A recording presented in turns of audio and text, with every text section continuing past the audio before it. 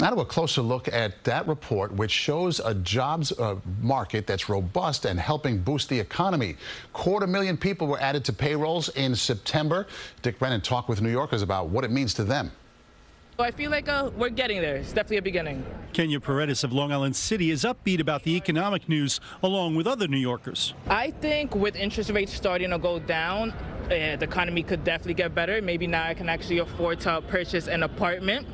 Hopefully, we start seeing groceries come down in price a little bit. It's good when uh, the economy is booming because that means I get commercial work and uh, people are willing to spend money and hire me. But others feel they're still playing catch up. The notion of a middle class is quickly fading away.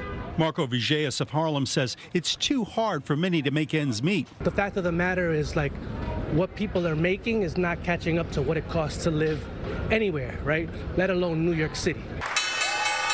The September jobs report added the most jobs since March, topping Wall Street expectations with the unemployment rate ticking down. Hourly wages jumped 4% over the last year, outpacing inflation. Restaurants and bars led the way, bringing on 69,000 jobs, and many of those workers are making more money. I think the superstar of this report annual wages. This means that workers should actually see more money hitting their bank accounts, and I think that's going to help people manage the higher prices that we've seen. President Biden was taking credit. We were told time and again that the policies we were pursuing we put forward weren't, weren't going to work, make things worse, including some of the other team are still saying they're going to make things worse.